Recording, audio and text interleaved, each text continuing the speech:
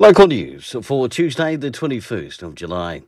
National Party leader Judith Collins will be in the region on Thursday. The business lunch has been organised by Business Wairarapa and Upper and will be held at the Carterton Event Centre. A Raising Resilient Children's workshop is being held tomorrow night at the Chanel College Hall.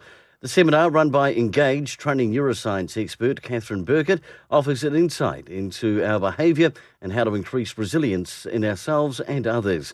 The evening starts at 6 pm with an entry by gold coin donation. Applications for the Community Wellbeing Grants from the Masterton District Council are now open. They're looking for organisations that are taking an active role in building futures and improving communities' wellbeing. Applications close on July 31st. And finally, in sport, both Wairarapa United men and women suffered losses at the weekend. The men going down to North Wellington and the women Palmerston North Marist. This weekend, the men will head away to Napier, while the women take on Seatoun. Kia ora for local news and sport, I'm Brent Gare.